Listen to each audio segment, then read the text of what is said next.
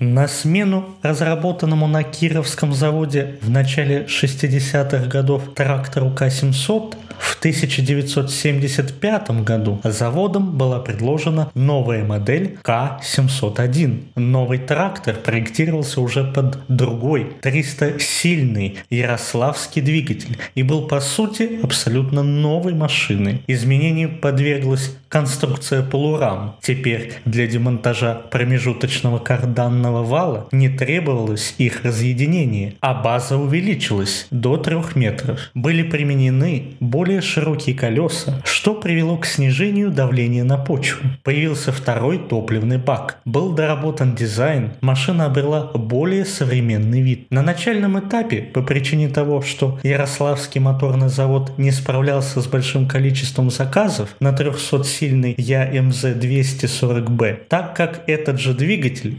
использовал БелАЗ и железнодорожники. На новый Кировец ставили 200-сильный ЯМЗ-238НБ с предыдущей модели. Эта модификация получила название К-700А. Тракторы К-701 и К-700А долгое время выпускались параллельно, до тех пор, пока Ярославский завод не освоил необходимые объемы нового двигателя ЕМЗ-240Б. Как все новое, трактор К-701 наряду с конструктивными достоинствами имел и ряд технических недостатков, а также невысокую надежность. Совокупность показателей технического уровня машины повлияли на заключение испытателей. На данном этапе производства приостановить выпуск тракторов и устранить выявленные недостатки. Как показала история, пройдя этапы становления машины, именно К-701 стал самым массовым и знаменитым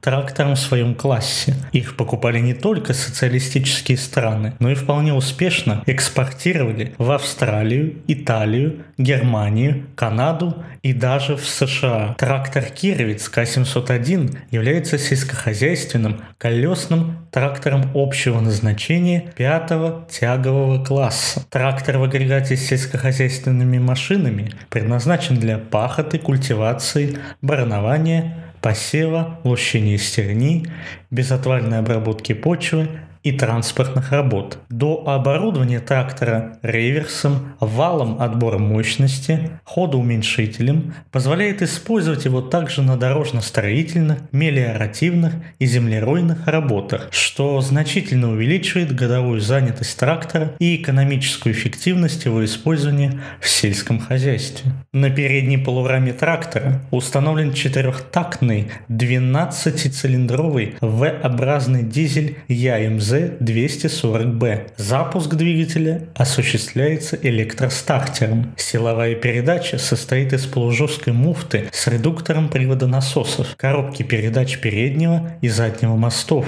и карданных валов. Коробка передач механическая, 16-скоростная, с гидравлическим переключателем передач. Оба моста трактора ведущие. Задний мост отключаемый. Мосты имеют автоматическую блокировку. Мосты соединены с рамой жестко жестко. Управление трактором осуществляется рулевым колесом с помощью гидрораспределителя и двух гидроцилиндров, которые смещают полурамы, соединенные шарнирным устройством относительно друг друга. Ходовая часть состоит из четырех односкатных бездисковых колес на шинах низкого давления с протектором повышенной проходимости. Кабина трактора с отоплением и вентиляцией оборудована сиденьем водителя, а также дополнительным сиденьем. Трактор имеет раздельно-агрегатную гидравлическую систему трехточечное навесное устройство. Для наружного освещения и сигнализации на тракторе установлены впереди две фары и два габаритных фонаря. Сзади три поворотные фары на кабине и два габаритных фонаря на задних крыльях.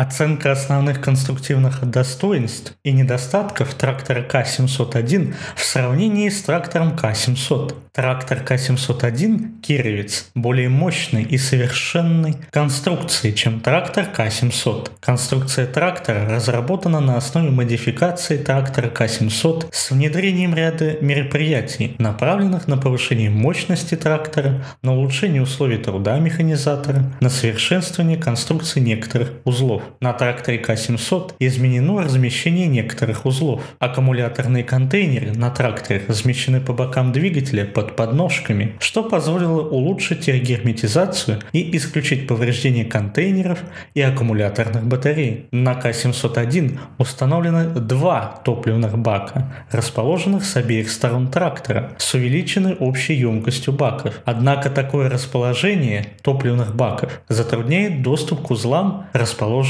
под кабиной. Например, для подтяжки крепления постамента кабины необходимо снимать топливные баки. Изменено расположение и конструкция воздухоочистителя. Применение плоских прямоугольных кассет воздухоочистителя уменьшило трудоемкость обслуживания. Однако конструкция и технологии изготовления воздухоочистителя недоработаны, так как наблюдается подсос воздуха во второй ступени воздухоочистителя. Применение 12-цилиндрового двигателя EMZ-240B значительно увеличило трудоемкость технического обслуживания топливной системы и клапанного механизма. Гидромуфта управления вентилятором стабильно поддерживает оптимальный тепловой режим двигателя. Применение ее эффективнее, чем применение термостатов и шторки радиатора в системе охлаждения трактора К-700. Примененный на двигателе механизм для проворачивания коленчатого вала значительно облегчает эту операцию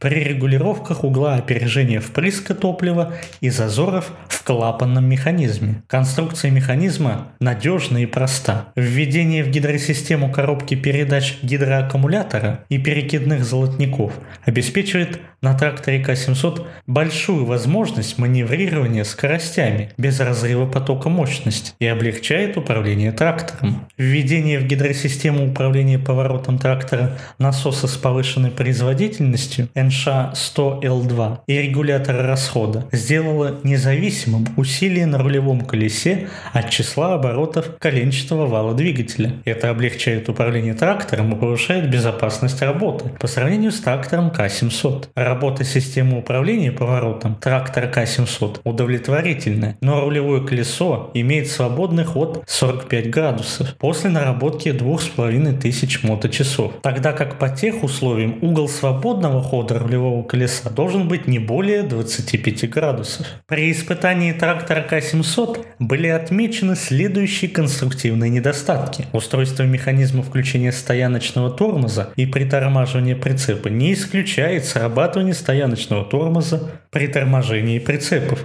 что приводит к быстрому износу тормозной ленты. Применение двух рычагов управления на тракторе К-701 тормозами более надежно. Отсутствие устройства, предотвращающих вытекание масла из гидробаков при замене насосов, шлангов или соединительных рукавов. Большие размеры ячеек защитной сетки радиатора, приводящие к частому забиванию сердцевины радиатора соломой и половой. Отсутствие устройства, позволяющего отключать гидросистему навески в случае, когда гидросистема не используется при выходе из строя самого гидронасоса или его уплотнений, или в случае, когда произойдет разрыв шлангов и соединительных рукавов, чтобы предотвратить работу насоса без масла при перегоне трактора в мастерскую. Нижнее расположение выхлопной трубы создает невыносимые условия для механизатора при подкачке шин колес и при агрегатировании с сельскохозяйственными машинами. При работе на сельскохозяйственных операциях выхлопные газы поднимают с земли пыль, солому,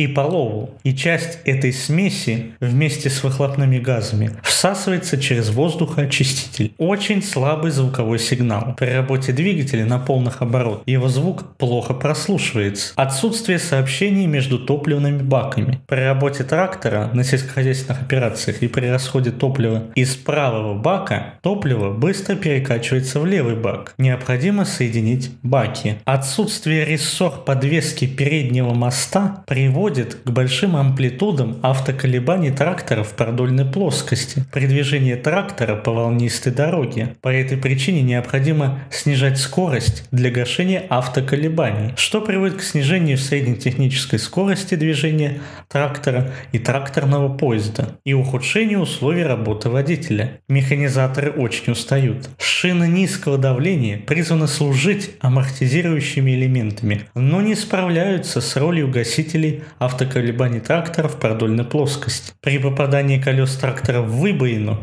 резкий удар почти не смягчается. При агрегатировании сельскохозяйственными машинами и орудиями по причине гидравлического управления коробкой передач нет возможности плавного трогания трактора с места и подачи его на небольшие расстояния. Для облегчения и безопасности операции агрегатирования трактора К-701 сельскохозяйственными машинами необходимо ввести в управление коробки передач устройство, которое позволяло бы водителю плавно регулировать давление в гидросистеме коробки передач от нуля до номинального рабочего давления. Эксплуатационно-технологические и лабораторно-полевые испытания машино-тракторных агрегатов с трактором К-701 на пахоте и культивации показали, качество выполнения технологических процессов удовлетворяет агротехнические требования. Использование трактора К-701 на пахоте обеспечивает повышение производительности труда на 30%, на культивации на 27-29% по сравнению с трактором К-700. При этом удельный расход топлива выше на 11,7% соответственно. Низкая надежность трактора обусловила малую наработку на отказ, равную 67 моточасам, что гораздо ниже контрольных образцов предшествующей модификации трактора Кировец К-700. Конструкция трактора К-700